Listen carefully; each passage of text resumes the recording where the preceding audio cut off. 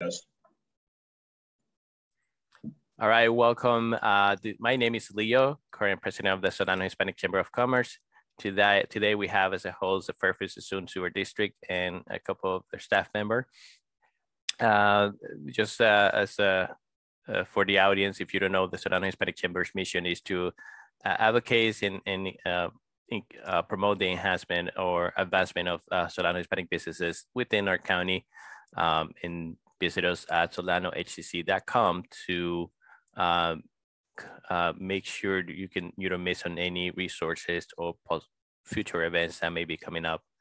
Um, and as I mentioned in the beginning, uh, we have James and Talyon with the Fairfield Suisun Sewer District. Um, I want to start with um, uh, doing brief introduction. Tell us a little bit about your role within the organizations. Uh, James, I'll hand it over to you. Yeah, thank you. I'm I'm James Russellfield. I'm the director of administrative services here at the the sewer district. I've been here close to a year and a half now. So in my role, I oversee uh, finance, HR, and uh, IT, um, as well as some office administration. So um, I was kind of the main point of contact for our, our cost of service and rate study and working with the consultant and helping to, to gather all the data for for the consultant to, to analyze and put together our, our report. Thank you. And Talyon? Yeah, hi, my name is Talyon Sortor and I'm the uh, general manager for the Fairfield Suisun Sewer District. Uh, I've been with the Sewer District, I actually started as an intern in 1992. Uh, so uh, what is that, almost 30 years, I guess. Uh, in that mm-hmm. time, mm -hmm. I've, I've, kind of done everything. I, I started off as an engineer, did a lot of um, uh, construction, um, and then uh, I've kind of worked in almost every as, uh, aspect of the organization over the years, including operations and maintenance and uh, all, all the pieces finance a little bit as well. Uh, so uh, my background is engineering, and then I actually have an MBA as well, so the, the business side of it. Thank you, Talia, and thank you for sharing. Uh, see that we have Alma um, Vice Mayor of the City of Suisun. We're just doing some introductions, Alma, and I'm recording this um, to provide to our audience. That um, and just being mindful, I was saying, I, I will be mindful of uh, who I let him in uh, because I didn't added the password feature. Um, we definitely don't want malicious people trying to join in. Um, so thank you. I, I was just uh, trying to find the article where I can that where the uh, that had the the announcement sent out within the before we get started do you know where i can find that if i go to the home page where i should navigate to see more about the proposed notice? Oh, oh i think yeah. i see it. If you're on the if you're on our homepage there's a um, let me pull that up really quick. I see it. It says information okay. on proposed rate. Okay so when i go to the homepage i'll notice inform on proposed rate increase. Okay Right. And then there's a page dedicated just to kind of all the information about the rate increase. Right. Mm-hmm. So so let's get started then. I, I think you have a presentation uh, ready. So let, us go with your presentation, see how, uh, what, what is included and, and may have a, a, a follow-up questions from there. Sure. Yeah, feel free, you know, to ask questions along the way. James will kind of bring up the presentation if he can share his screen, I guess. Um, that way I can see what everybody else sees. I know sometimes when you do the presentation and oh yes, that's right, you can't quite see everything. Right. Let me let me make a co-host, uh, James. Yeah, thanks. I was gonna say it didn't quite let me do that step yet. There we go. Perfect. This, this is kind of, I'll, I'll, I'll, try to keep it fairly short uh, so that it doesn't um, leaves plenty of room for questions. Um, but we thought it might be helpful just to kind of frame it a little bit. Um, so if you want to go to the next slide, James, uh, this is, we, some of these slides are from, we did a pretty extensive, I think it was probably over an hour long presentation to our board in January. Um, and so this is some of the information, but I tried to, to, to pull out maybe what might be most interested to your members. Um, so we'll just give a little background and then jump into the rate study. You can go to the next slide, James. Mm-hmm. So many, mo most people don't actually know who we are. Um, you know, most people don't think about sewer. So uh, the, the Fairfield Sewer District was actually has been around since 1951. Um, and our board of directors is made up of some, uh, council members from both Suisun and Fairfield, all five from Suisun, and then five out of the five of the seven from uh, Fairfield. And uh, we're, we're what's known as a special district. So our we focus solely on uh, treatment, collection, and disposal of sewage. We help the cities a little bit with some stormwater things, um, but we're a you know a special purpose district so that we can stay focused on our core mission. Um, we don't do anything else. Uh, next slide. And then our service area, I know you, you, you, I'm sure have members from all over the county, but our service area is just within the cities of Fairfield and Suisun City. Uh, we treat a little bit of uh, sewage from uh, part of the county out in Suisun Valley, um, uh, but just uh, it's an older part of the system. Um, but about 146,000 people. Um, we do uh, take care of large pipelines in the ground that's kind of 12 to 48 inch. We got 70 miles of that. Um, our main focus is out at the treatment plant, which if you look at the kind of center where he's showing his cursor, that's where the treatment plant's located out. If you're familiar with where Anheuser-Busch is along I-80, we're, we're kind of out next to the marsh out there. Um, and we've got uh, a large, over about 150 acres uh, that we take up with our treatment plant out there. Um, we can treat up to 23.7 million gallons a day, which is a lot, uh, probably not meaningful to most people, but uh, is, is, quite a bit. And we do that with 61 employees. Um, and just to give you an idea, our, our, kind of our annual operating capital budget, it varies year to year depending on what projects we have going on. But as, as that slide shows in 21, 22, it was almost $40 million. So gives you kind of a sense of size and uh, uh, what our budget is. Next slide. So some of, some of what might be helpful is uh, part of the reason for this rate study at, at, this time is we do them every five years, but this rate study included something new, and that was um, we're trying to become better stewards of the um, of the physical kind of pipes in the ground. Uh, we've always uh, taken care of any problems we found, but we know long term those pipes are aging and will need to be replaced. It would be very expensive, and so there was a large uh, asset management plan uh, that that took place over the last year and part of what this new rate does is it funds almost $6 million a year to go to replace the sewers uh, that are out in front of everybody's house, in front of all the businesses, so that um, they don't fail. Because um, as, you can imagine, especially for a business, if the sewer, and this, this happened at uh, the mall uh, not too long ago, Solano Mall, uh, there was a pipe that collapsed um, and the city of Fairfield had to, uh, some of the businesses had to actually close for a little while until that pipe could be repaired, I believe. So you can certainly imagine if you had a restaurant or something and that pipe, um, there was a problem with the pipe in the ground in front of that restaurant, they would not be able to operate. They'd have to close until that was fixed. And so we try to be trying to be much more proactive and make sure that doesn't happen and, and impact any businesses or residences for that matter. Um, we also try to be very proactive and make sure the capacity is out there. And so the second project you see on there, the Peabody's Walter Relief Sewer, is a, a putting in a larger sewer out in the kind of the north uh, east Fairfield, uh, where there's a lot of growth going on right now.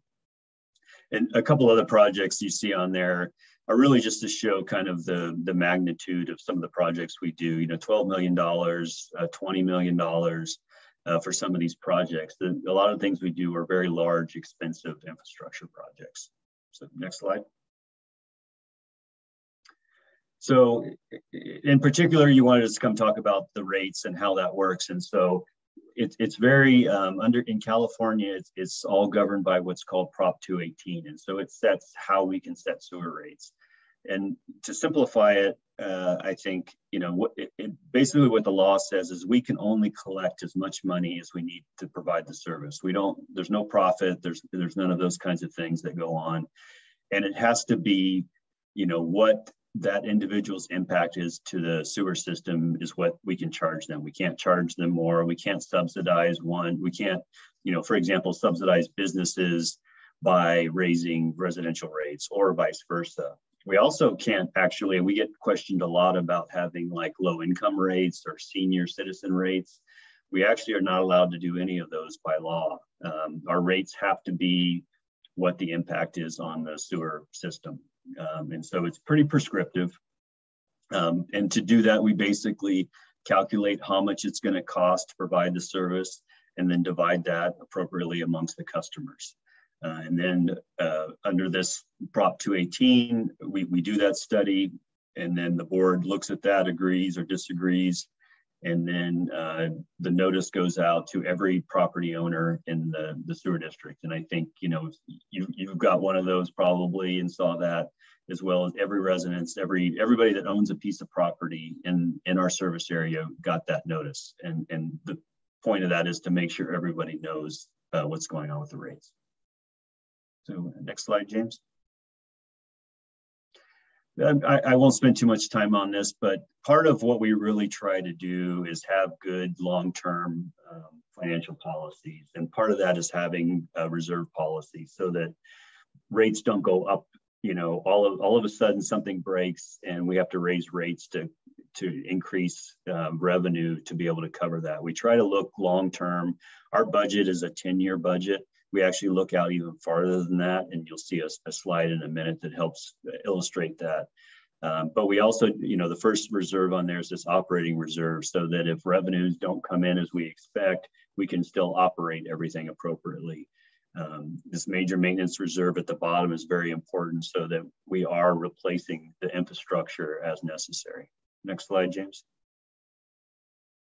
So this is a very busy slide. I'm not going to go into too much detail unless you have more questions at some point. But kind of the point of this is at the top, it's just kind of showing how much we'll be spending each year. And so if you look at kind of the top of those blue bars, you can see we're spending, you know, between 40 and 50 million dollars over the next few years, which is a lot of money, more more money than we have revenue coming in, and that's a planned thing.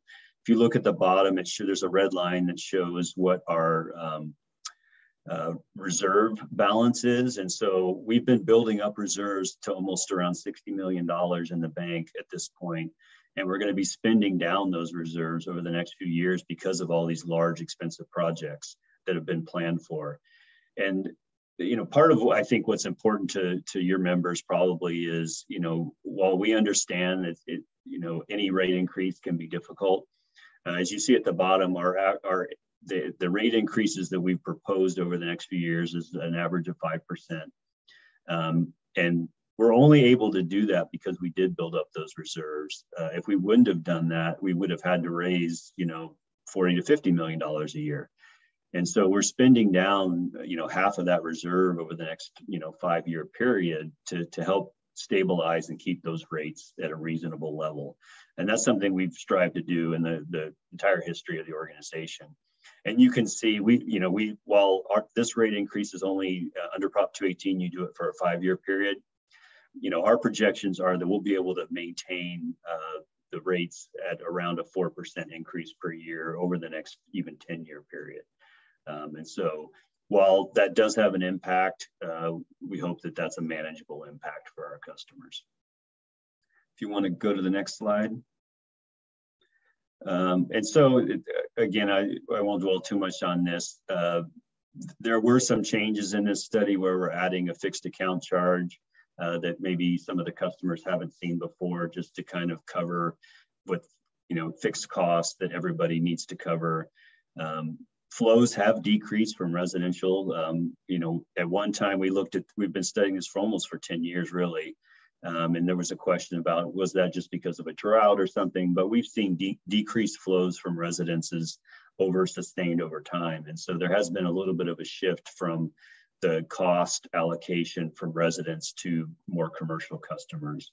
Um, also in that last bullet is we were segregating out the local collection versus the larger pipes because you know the costs that we're adding are um, to replace a lot of those smaller pipes have increased it. So basically just the people that are getting used to those smaller pipes are, are covering that cost. next slide, James.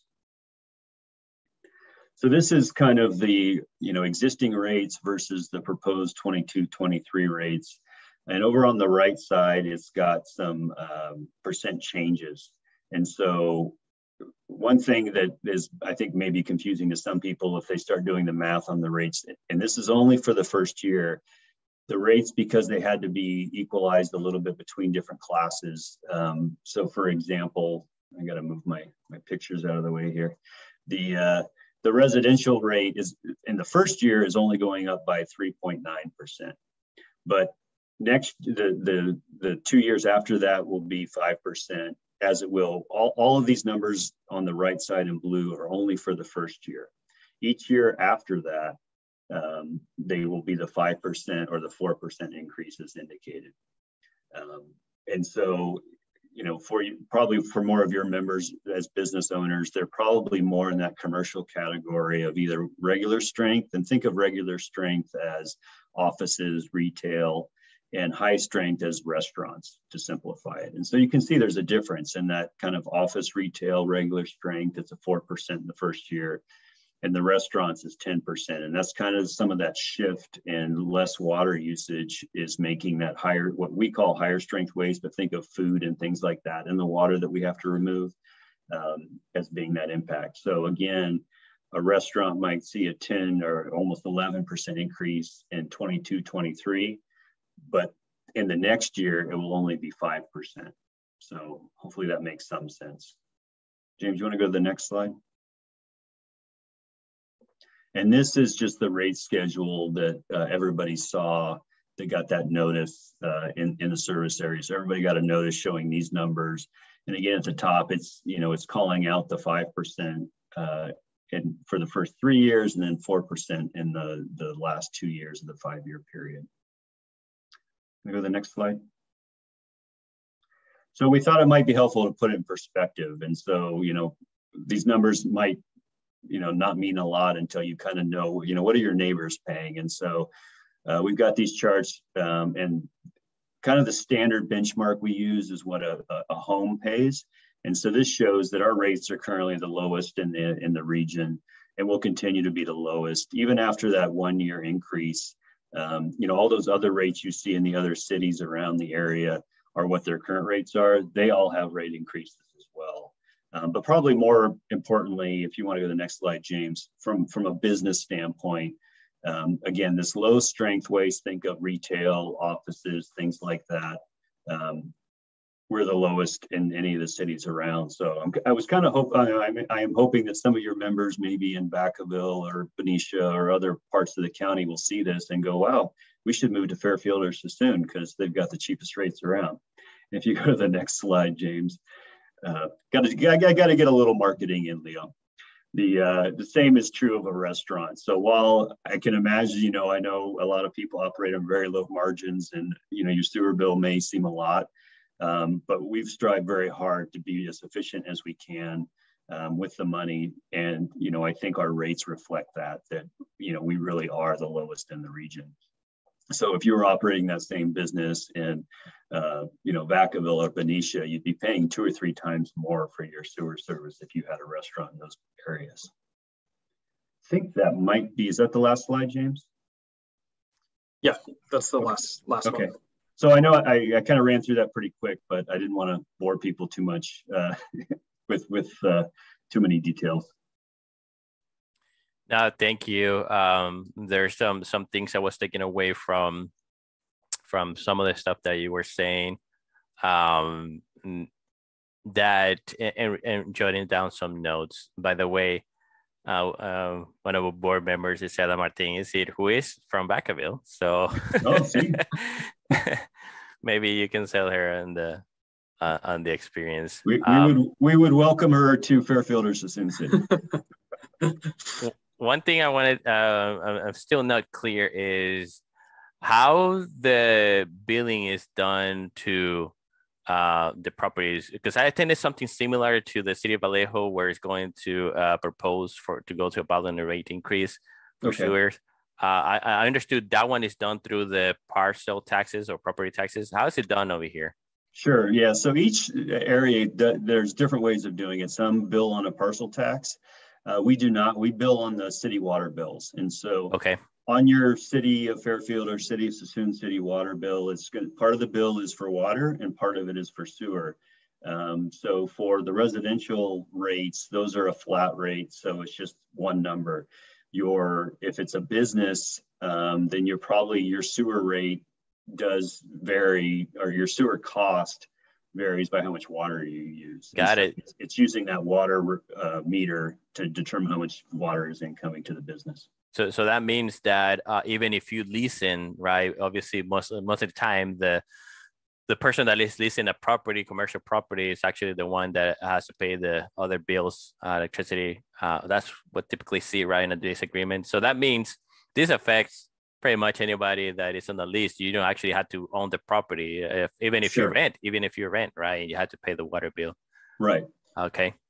Oh. I think one one thing to to add onto that, I think while we're looking at, we've got this high strength slide up and we had the low strength slide up, is um, this comparison because it's based on water usage assumes that the the commercial resident used 40 100 cubic feet of water use because if if you go and try to look at a direct comparison between different agencies just looking at the rate itself the fixed charge um, and how it's calculated for some of the the agencies varies um, so that's one thing to keep in mind too is is having that to be mm-hmm. able to do the comparison and re, you kind of have to recalculate um, a bill based on your water usage um, instead of just looking directly at the rate itself. Because there can be little there there's differences between the agencies on how that's that's put together. Right. And, and so that brings a, a, a, well a couple of questions that i have based on that. One is um, you mentioned that because uh, it doesn't have to go to a ballot this is a proposed rate increase and and it, it just gets added it just has to be a notification however what's that difference with um, for example the the the um, the one in the uh, Vallejo, there's a proposed stormwater rate increase that's going to the ballot. Not sure if it has something to do similar. Over there is the uh, flood and wastewater district, right, that handles that. Right. Uh, but you mentioned that there was a specific uh, bill where that didn't need to. So how's that different? That over here you don't need to go on the ballot, but over there it is. Sure. So the the difference is uh, that's on stormwater.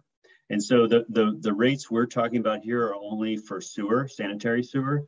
Uh, these rates are not used for stormwater purposes. There's a whole, we have a whole separate rate structure for stormwater. Um, and so this has nothing to do with stormwater.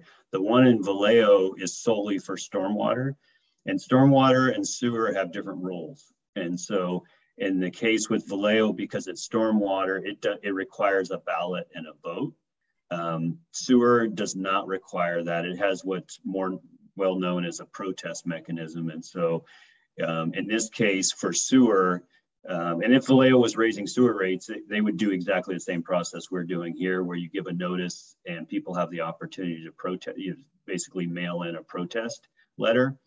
Um, but there's no ballot associated with uh, sewer, whether that's Vallejo or here or, or anywhere else in the state of California for that matter. Yeah, so the, the difference between the two is stormwater versus sanitary sewer. And going into that protest aspect of it, tell us more uh, about that. Because I, it, when I was looking at it, it seems a little bit um, complicated. I may scare some businesses that may have a language barrier and um, obviously anything that has to do with government will affect any um, you know immigrants and immigrants businesses sure. Uh, so tell us more about that process yeah so the way the, the law uh, is set up is that the property owner has the right to protest it so as you mentioned you know we so we mail the notices to the property owners but as you mentioned sometimes it could be a renter that's paying the water bill um, and so um, you know that it, you know, it would obviously depend on the lease agreement, who pays which bills, and all those kinds of things. But in uh, under Proposition 218, this is considered a property-related cost, and so that's why we know we notify the property owner, and that it is and it's the property owner that you know can can do that protest. Um, James is the one as he as he mentioned is managing that. So, James, did you want to add anything to that? Am I am I missing anything? No, I think that's um, that's a good good recap. I think if the if the property owner does pass that that notice to someone who's leasing the property or renting, um, they can protest as well, but only one can be counted for the parcel. It has to be tied to the the property. So that's why the um, the law and the procedures start with the the property owner when we we send those notices out. Um, and we're required to get that information from the the county's latest assessment roll to get the the most current addresses um, and contacts for those parcel owners. Yeah, and the, the way maybe to, to, to kind of circle uh, back on how that works. And so what the law requires is if more than half of the property owners mail in that pro, mail in a protest, then the rate cannot go into effect. And so in our case, that's uh, what's the number, James? 35,000? Yeah, a little property. over 35,000 parcels received received a notice. So more than half of those would have to mail in that protest uh, for the, the board of directors to not uh, uh be not able to adopt the rate. So it's quite a, it's, it's a very large number.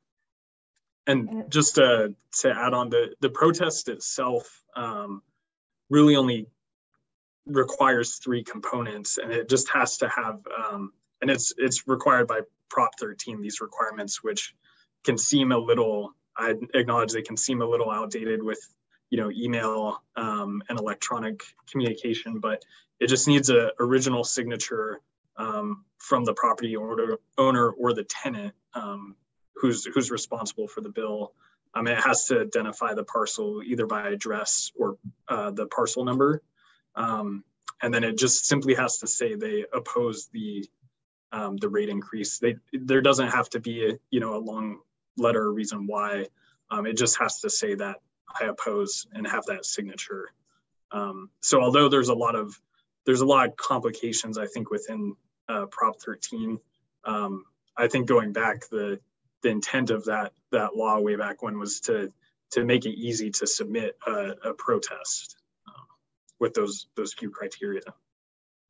And if I may just add, um, as a quick follow up to your question, Leo, um, a couple of things that the sewer district and the board uh, also agreed on was to make the information accessible in other in the other two predominant languages in Fairfield Suisun, English and, and Tagalog.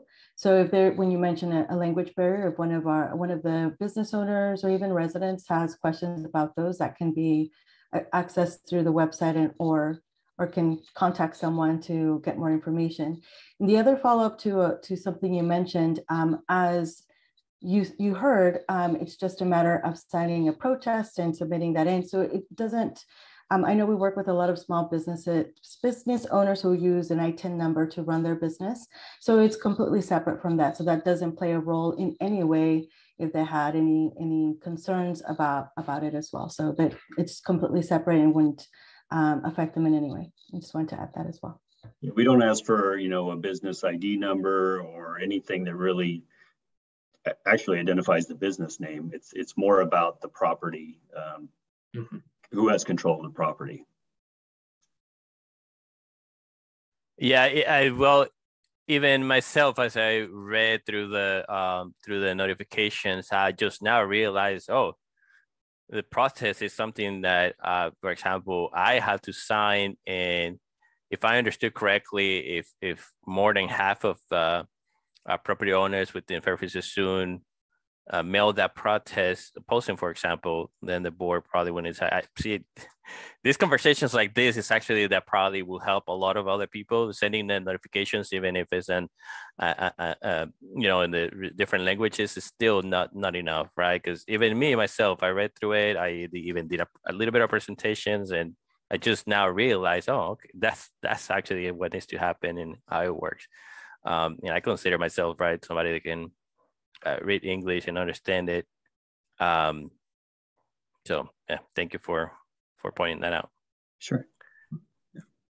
Um, but I see over here, I put out the notice. It says it says being writing with an original signature from the property owner, record tenants. Uh, I don't see a form that needs to fill out, so I'm imagining it's like a letter that I can just make myself.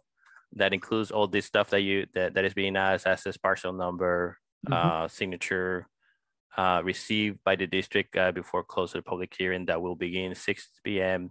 March 28th. So not very long time, not a lot of time that we have left, and maybe directly, may maybe mailed directly to the director of administration services, and there's an address there, at Chadbourne Road.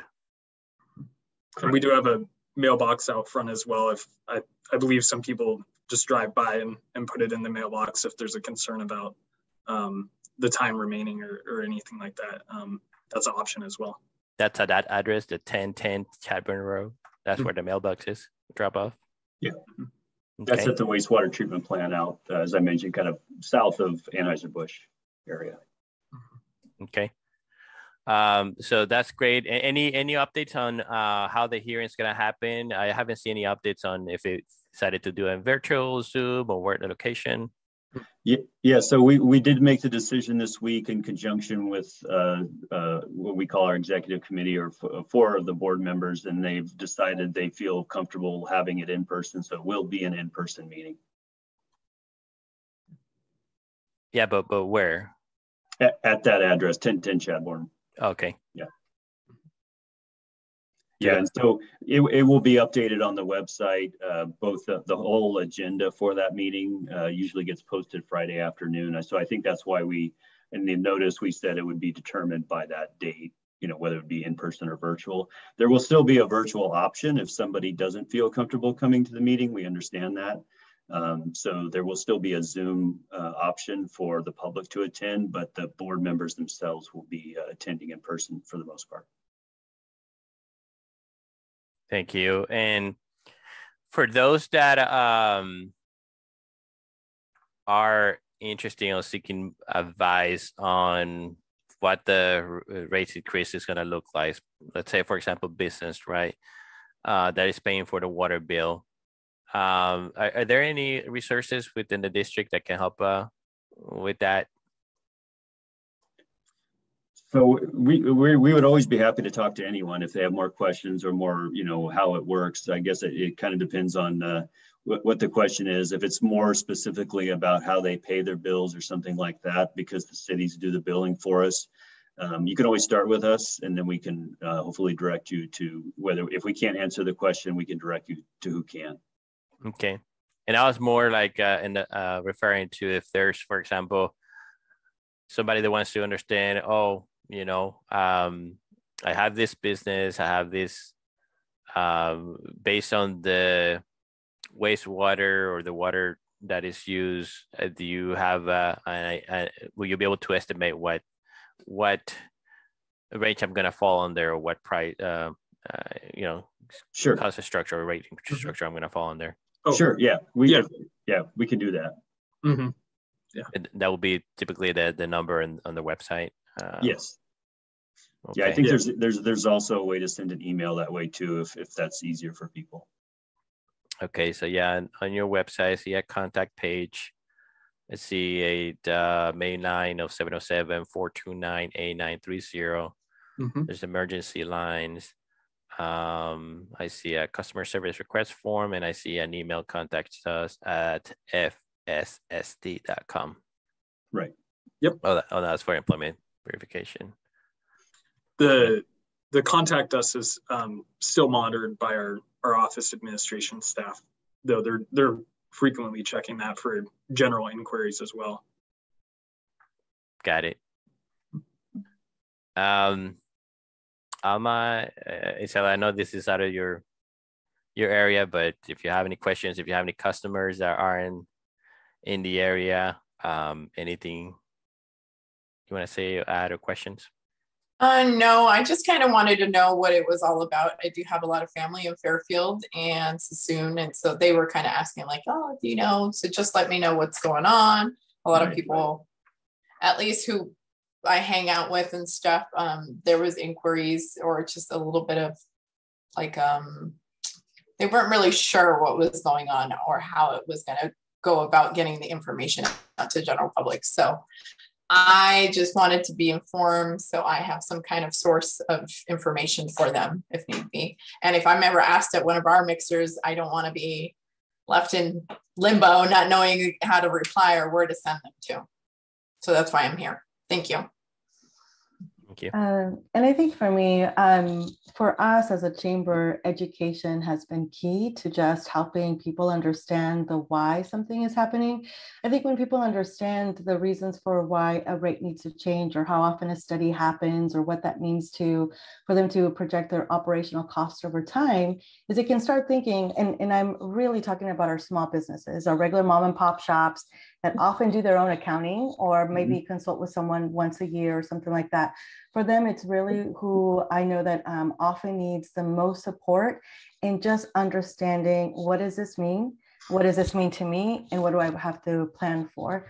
Um, and I think this presentation did a really, really great job of covering all of it in regards to this is what a water rate means, this or sewer rate means, and this is what needs to increase over time. These are the benefits back to the community, which were mentioned about our infrastructure, capital investment. That's all to keep us and ensure that you know all of that continues to be steady. Um, I heard you know one of the things that was mentioned is in order to help our um, keep our rate stabilized this is one of the methods to be able to do so. And most importantly, transparency. And I think that was mentioned around Prop 218, which is here's the information so everyone knows. If you don't agree, here's a method that is part of the process for you to object. And it's really us just to support people in, in helping them stay educated about what all of this means. And then the a public hearing date on the 28th. So I think that covers, at least for me, why I thought this was important. It's really talking to our mom and pop shops our small business owners and supporting them in understanding what all of this meant. Right. We, we, we take, you know, the, you know, as, as almost one of our board members as well. And so she knows, you know, we take the, you know, very seriously the uh, duty we have to provide sewer service. And, you know, it's one of those things that most people don't think about. And to a certain extent, that's, that's good. If they, if they don't have to think about it, it means they're not having a problem with it. Um, and I, have worked in uh, other countries where you don't have you know, the, the thought that you would turn on a tap and water would come out doesn't cross your mind um, because it's not there. Uh, and so, you know, we're very fortunate in our community. We have very robust water and sewer systems. And so, you know, I, I ask people, when was the last time you turned on your water tap and water didn't come out? Or the last time, you know, your sewer backed up. And, and it does happen, you know, things do break, but I think that's why we feel it's very important to invest in that infrastructure long term because you know, as I mentioned earlier, the fastest way to close a, a, restaurant or a business is if if the sewer backs up or the water if they don't have water, um, you know, just because of health standards and things, that generally means the business has to close, and that's you know even one or two days could be significant lost revenue. So we do everything we can to to really not. Um, to a certain extent, not have people know who we are because the service is just there for them. And I will say, I did work in another county where uh, our next door neighbors, we were in a block, were a couple of restaurants, and there was a sewer issue, and it was everyone had to leave the building, and it was about a week's worth of work uh, enclosure to the restaurants, which rely heavily on foot traffic, you know, in and out. And so I have seen when the result is an issue, um, and it's uh, it's something we never want to see in in our community. So that's uh, it's a plus. Uh, the other thing I want to mention that I thought was important in regards to the two rates is the understanding of the um, regular strength and mm-hmm. high strength. And so I think that's where people, if they were reading that, wouldn't know how to categorize themselves. Sure. So I think that was very beneficial for both of you to help uh, define what that meant. And that, that, was yeah, it. unfortunately, we, often we often have to describe things in legal terms uh, and ordinances and things that, that I, I agree are not always the easiest to understand. So um, that's why I tried to use more terms like restaurant and uh, retail, um, even though the ordinance, the ordinance is written in, in, these regular and high strength terms, they do use the words uh, retail and others and, and, you know, more defined language, but, you know, people, you know, I get people don't read the ordinance. Um, that's not typically what somebody's mm-hmm. going to read. But if we always welcome, if somebody has questions, uh, mm-hmm. we're always happy to talk to anyone. Well, thank you. I think I appreciate the opportunity. Um, I echo what Alma say in terms of, you know, learning, understanding the process, why something comes up, uh, uh, knowing the, that you have the opportunity to protest if you need to, at least reach out for help. uh, it, it, helps the community understand where things are coming from. Uh, that's why it was important, yeah, for us, like Alma said, right, that um, you know we both are in our community out there. Uh, so obviously it's important that we understand because if we get asked questions and Isela was mentioning, right, at least we know what to direct in or if something happened, why it happened and who to direct into.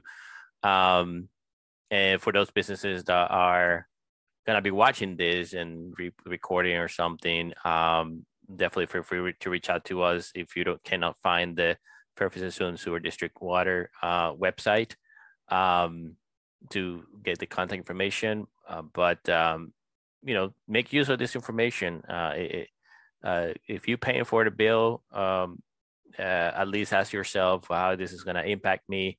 Who do I need, need to reach out to to learn more, um, or, or and when you're going to reach out. So so do that action.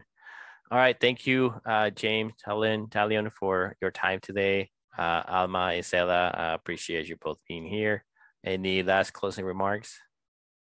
No, just anyway. thank you very much for the opportunity. Yeah. As I mentioned, a lot of people have no idea who we are, and we we, mm-hmm. we take great pride in what we do, and uh, you know we feel like we we provide a really critical service to the community, and uh, so the more we, I actually appreciate the more people that know what we do. Yeah. Thank you. Thank you. Thanks.